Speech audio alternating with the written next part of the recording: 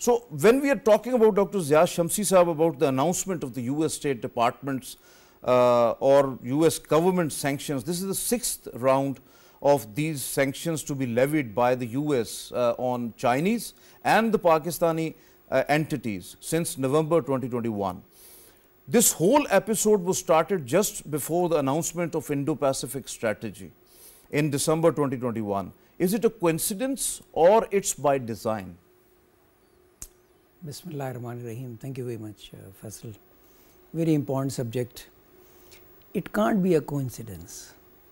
US does not do things uh, by chance. They do it, they always do it by design. They always do it with utmost preparation. And sanctions on Chinese companies and Pakistani entities is not by any chance. Why? Because US has a history of sanctioning Pakistan. Hmm. Whenever they need us, we are major non-NATO allies. Yes. Whenever we are not required in their calculus, we are sanctioned.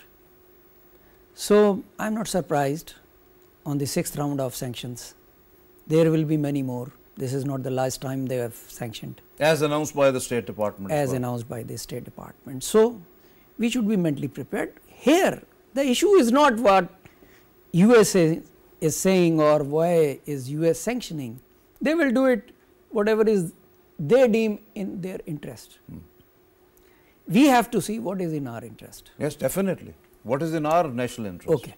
So, since these sanctions are not new, number one. Number two, Pakistan no, is not the only country that has been cha- sanctioned by the US. Hmm. Okay. Obvious. And there are so many other countries who are living with these sanctions for more than four decades. Iran is sanctioned, Venezuela is sanctioned, Afghanistan is sanctioned, China is sanctioned. Russia is Russia is sanctioned. sanctioned. Yes. So, I'm, I was. So, there is nothing to worry about. Hmm.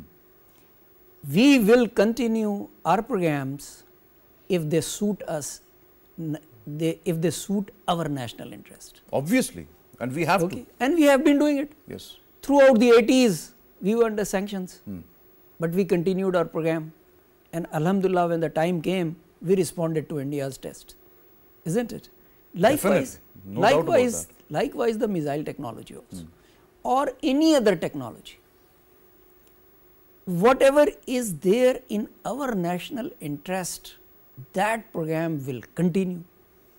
Whether it is the modernization of armed forces, whether it is the development of new missile systems, whether it is the development of nuclear weapons, whether it is development of subcritical or subkiloton or tactical nuclear, whatever it is. Hmm. If it is needed for our security and if it is needed for our uh, national interests, we will guard it jealously no matter who sanctions us. Definitely. You are, you are absolutely right about that. Why Pakistan national security is not important for the US? Yeah, because Pakistan does not fall uh, into their calculus as far as their strategic interests are concerned. For tactical or operational interest, yes, Pakistan becomes an ally whenever they need need us in Afghanistan. But for the limited elsewhere, period For limited period. That's why I said the strategic interest. Um, you you rightly pointed out a number of things, but most importantly, perhaps, in my opinion, French reprocessing plant, which we were supposed to get, and Americans stopped French from supplying it to us after India carried out 1974 uh, Smiling Buddha tests. And then also they stopped the Swedish company to give us the Viggen aircraft Yes. and they also stopped a 7 aircraft that were supposed to be supplied to. So, it is a, it's a long history. But what I am coming at is that whenever a superpower makes a move or makes an announcement, it is not without a purpose. Hmm. So, look deep into the US purpose of these sanctions since 19 to, uh, since 2021. What are they achieving? Number 1, they are pleasing India that we are countering Pakistan. Number 1, we are weakening Pakistan relative to you. So, they are appeasing India. Number 1, they are preparing India for a It's a kind of a Indo-Pacific. and teasing policy.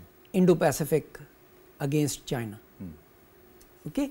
Then they are forbidding Chinese companies to get business elsewhere hmm. through sanctions. All right.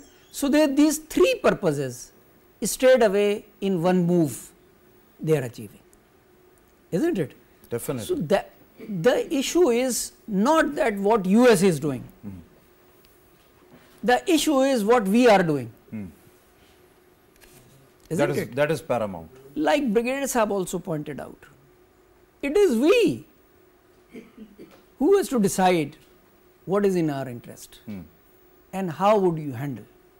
Especially, especially this administration, as I keep saying, Biden administration will go down in the history as the weakest administration, US administration in last 40 years. Hmm. Why? They were unable to stop China's rise. China has already risen now. Hmm.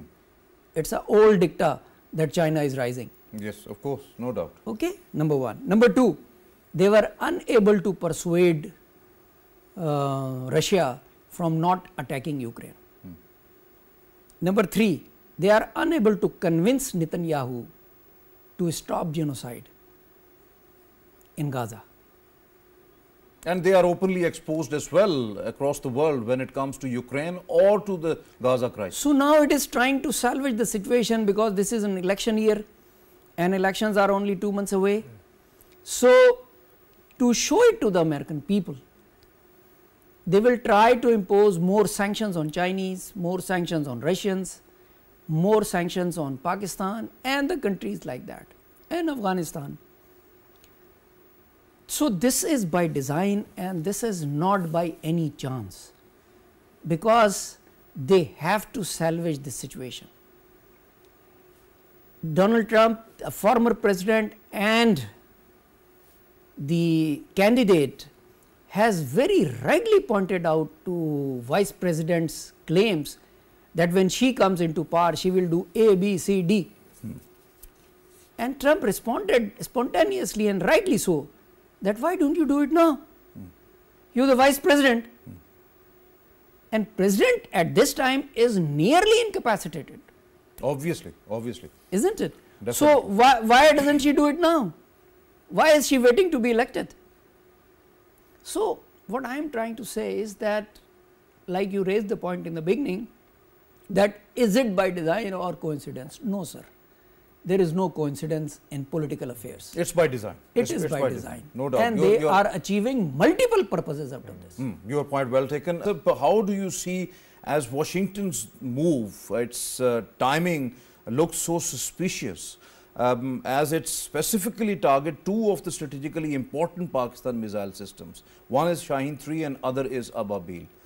As a State Department official, Matthew Miller named these missile systems uh, to which Pakistan's adversaries, especially India, has lots of issues because both both of the missiles are beyond 2000 uh, kilometers of the range Actually, we don't um, really need uh, this kind of distance to target India. We are neighbors.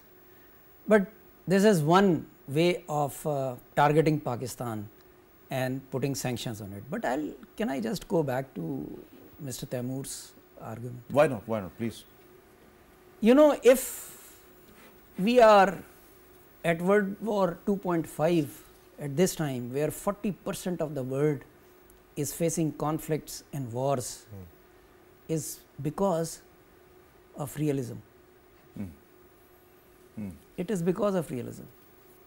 This is this bogey of self-interest and anarchic world and all that is is causing the world to this because most of the governments especially the hegemons, Hmm. because realism creates the Obviously, hegemons. yes, there are right. contours of, uh, there are different Okay. contours of the so, realism, no so, doubt about that. So, if if you are following Machiavellian approach Hmm. of realism, where prince needs to do whatever is in his best interest and forget about the people, Hmm. then obviously we will have this kind of world in which we are sitting. Obviously, obviously. I am not that realist. Hmm. I have coined my own theory of realism with Z, not with S. Hmm. I do not support realists, I support realizers with Z, realism with Z. I am an, a supporter of Sun Tzu, who says that you should win your battle without fighting. And it can be done. Hybrid warfare is one way of winning your argument. But if you follow the classical realists, Hmm. Machiavelli, then yes, you will have bloodshed and you will have wars in the Europe also, in the Middle East also, and in Africa also, and in South Asia also. Hmm. I would urge on all practitioners and academics to please stop pursuing or stop supporting this age old argument of national interest and self interest, and anarchic word and all that. You want to pursue your interest, yes, you pursue it, but not at the cost of my interest. Hmm. Can't you pursue your own interest without hurting my interest? That's what the beauty of diplomacy is. Definitely, you are absolutely right. Absolutely So right. Shamsi please do not tell me that realism is the only way of managing this world. No doubt, there, uh, there are because ways, realists have definitely. failed hmm. to ensure global security, regional security, and domestic security. Hmm. We need realizers, we need game changers. Hmm. Mr. Trump was in power for four years, no new war was started. Was he not pursuing the national interest of US? Was he not? No doubt, he was, he was, might be.